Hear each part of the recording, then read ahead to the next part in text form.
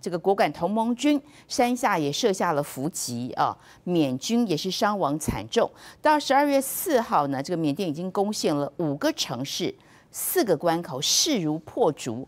然后在这个缅甸军政府的办公室哈，缴获了四百多亿的这个现金哦，折合台币大概是一点四亿人民币。人民币，嗯，对，我这个我就不知道缅甸的武装联军它最终目标是什么他真的要跟军政府干到底吗？而且看这个动作，还是说是要扩大根据地？因为讲白了哈，果敢同盟军跟苗瓦迪那边的民族是不一样。嗯，所以中国大陆事实上，中国大陆现在也很头痛，就是电诈的部分，果敢大概处理了一部分，所以大概有五万多人从业者回大陆了嘛，啊，啊，可是苗瓦迪那边大陆就很难介入，因为那边不是华人啊，啊，那他们也建构的比较好，就是说他的整个民兵啊的程度啦，啊，这个也牵涉到他们跟军政府的相处，过去关系是比较好的。对，那果敢，因为他就是广义的中国大陆的外溢势力了，所以这个电诈集团不只是缅北哦，我们不止不止不止哈，整个嗯，整个面积是两个台湾大，不然怎么会有那么多人呢？而且中国大陆光是处理果敢那一带那个电诈园区，听说金流就高达七百六十亿人民币，就历年历年累积的金额了啊！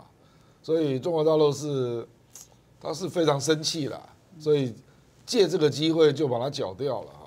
不过就是说那个说那个彭家啦啊，那个彭怀仁怎么会突然变这么强大了？对。嗯，这个坦白讲，四大家族认为他背后有靠山了。对。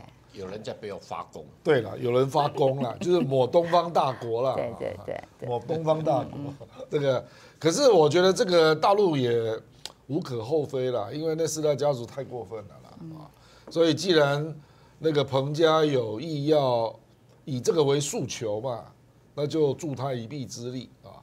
啊，可是真的接下来你也不能太介入啊，因为你如果是说，哎，这个地方这个侵害的都是中国民众的利益嘛，那他比较有正当性这样做啊。对然后或者说你这个已经搞到那个中缅边境了，那我们当然有有权利这样做啊。那，可是至于缅甸 其他地方的电诈园区，那中国大陆就很难介入了嘛。是啊，嗯所以其实坦白说，在这里啊，中国大陆是对缅甸军政府也是蛮有意见的啦。对。那可是他又基于跟缅甸这个现在的政府又要维持一定的良好的关系，所以坦白说，他是每一个单位都有交往，那可是每一个单位也不能完全信任。嗯嗯。那每一个单位也给予了必要的帮忙，这样。所以你看，他也不是派了军舰，对对对，那个就是要稳住军政府的局面嘛。对所以我觉得这里尴尬的地方就是，你不知道这种这个少数民族的武装联军，它的目的是什么？你到底最终要达到多大啦？啊？所以军政府当然会害怕，因为他们怕你跟翁山书记合流嘛就不知道你要打到哪里嘛。啊，所以可是他又没有办法，这个历史很久了啦，就是缅甸的中央政府一直对缅北、缅东一些边境区域的少数民族的武装一直没有办法消灭，所以他们久而久之就变成地方的土司了啊，应该叫吐司没错了啊，不是面包了啊，是吐司了啊。对像云南、贵州那种吐司，或者是土豪劣绅呐、军阀啦，就根本就是整个都搅在一起了我。就问一下亮哥，但大陆最在乎的还是电诈集团嘛啊？那北部电诈集团会不会我们看到整个流窜到东边？当然他们的民族各方面不一样，会吗？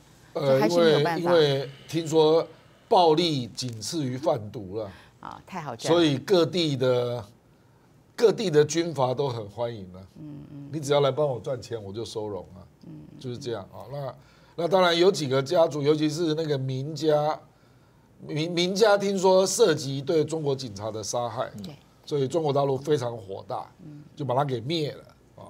啊，可是其他的家族 你说他们没有做这一行吗？实在很难讲啊。那可是因为其他就没有扯到中缅边境了啊，那也没有他那么嚣张了啊。因为我觉得中国大陆也是长期有派人进去卧底啦，了解状况。那你不要太过分，就算了。啊，可是你既然连我的警察都杀，对，而且他还表明身份还被杀，对对，活埋。所以真的是惹惹惹闹惹恼中国大陆了啊！所以就特别把那个给给给给给端了啦，嗯。对，但因为缅甸很大啦，所以我们看到哈，这个你说要一次端掉所有的这个电诈集团，看起来也有相当的困难，相当困难，不，相当的不便，对，因为你是人家的人家的领土，哎，对对，嗯。所以要要这个如果在中国境内早就没了啦。要要发功都要默默的发功，哎，对对对对对，不能明着发功。呃，大陆的外交操作真的很灵活，更不要说华春莹，华春莹也是一样，她的每篇发文流量都超高。然后最近她就发什么卢卡申科啊，对，哦，白俄的总统跟北京大学冰球队进行了友谊赛啊，视频有没有？然后英俄双语写着猜猜这个零号的得分手是谁啊？然后他也进球了，有没有啊？体育的啦，啊，政治的啦，这个呃艺术啊，啊，这个演绎呀，结合起来，真的效果好的不得了。你怎么看？我是觉得他们大陆现在这个整个的国际这种所谓的新闻啊，它这种讯息啊，它用新的媒体平台，所以它 You YouTube 啊，或者说这个脸书啊，甚至还有 TikTok 啊，它都用。所以这个部分我觉得是。就是说与时俱进啊，因为将来这些新平台的话，事实上的重要性是越来越强。那不过就是说，迪丽热巴当然它的主轴是这个丝路，这丝路，丝路就是一带一路，所以丝路经济带那是整个的中国从这个哈几条路线跟西方当时的欧洲接触，还有阿拉伯文明的接触哈。这个片是是事实上是在这个克罗埃西亚的一个著名的城叫杜布罗夫尼克城，这个城。叫这个哈亚德里亚海之珠，这个过去在丝路的时候啊，就扮演过重要角色的一个哈，在这个哈这个这个这个巴尔干半岛附近的一个重要的一个商商这个商旅的一个集中站，所以这一次是为了丝路之旅去。不过我觉得特别请迪丽热巴哈穿着维吾尔族的衣服跳这么美的这个这个维吾尔族的舞啊，那么也是向世界展现，就是说维吾尔的现况。也是维吾尔人这个第一个文化得到了完整的保存，然后呢，在中国的社会里啊，像像这个像迪丽热巴这种最当红的明星受到的欢迎程度哈，那这正好了打脸了，也也就怎么讲，也就驳斥了西方哈不断在妖魔化整个新庄现况的这个哈文宣，所以我觉得是多重的功用了。不过我对迪丽热巴，我就是说，其实我蛮喜欢看跳新疆舞的。其实我有时候是看 TikTok，我都在看跳新疆舞，因为我觉得他们是一种自然的一种哈肢体的一种哈展现。他你看啊，迪丽热巴她跳的，她虽然是中央戏剧学院的啊，可是她的舞蹈就就是非常有基础的。那她可能受过训练，可是我看到很多网站啊，这个这个维吾尔族的小朋友很喜欢，从很小三岁四岁哈听到音乐啊，那就是那就是。就是可以即席跳一次，非常非常啊，有内容，哎，全身的运动非常非常美。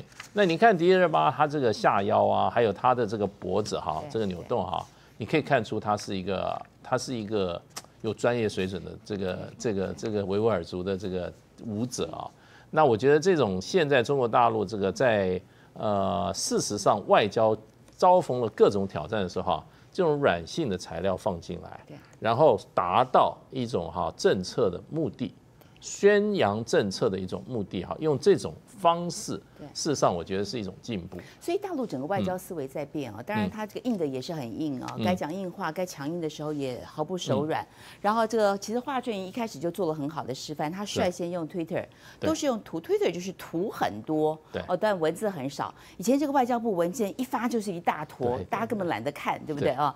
但是华春莹的效果就很好，所以你看到他又发这个卢卡申科来，特别是大家不知道。道，只看到这个习近平在钓鱼台宾馆跟他讲了一大堆嘛啊，但是这个显然就吸睛很多。但是我们也回过头去看一下哈，卢卡申科，这是他今年第二度访华。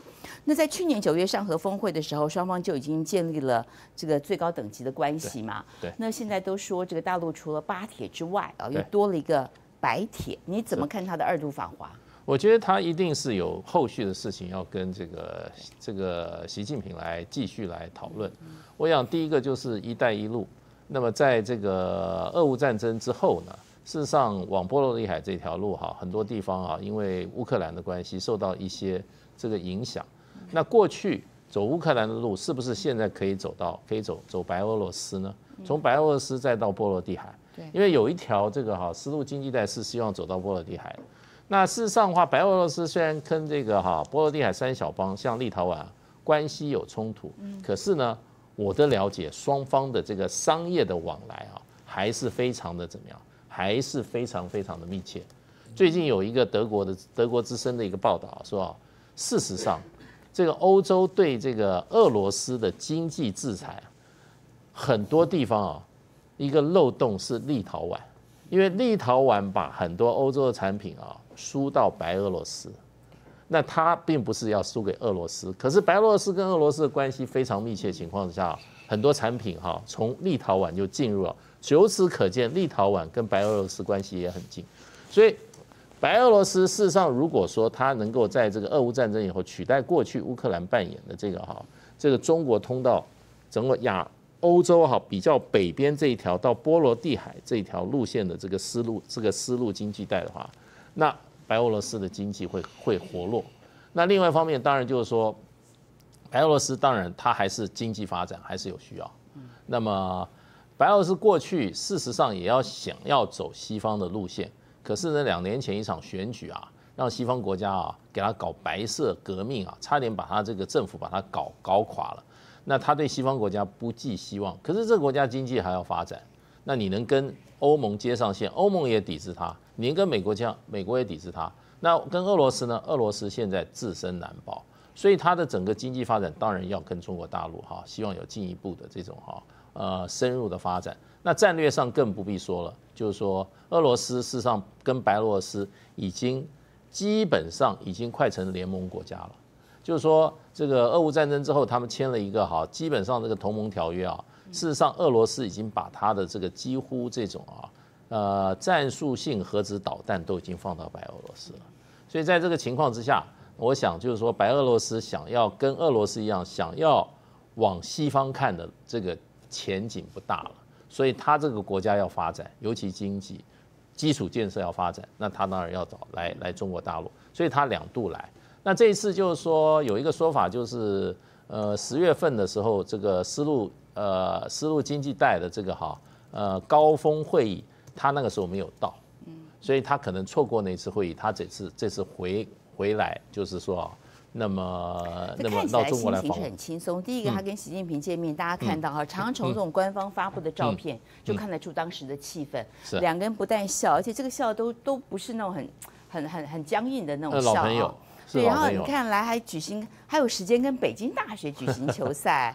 哎，他他还有他还有进分呢，这个这是有点让利嘛？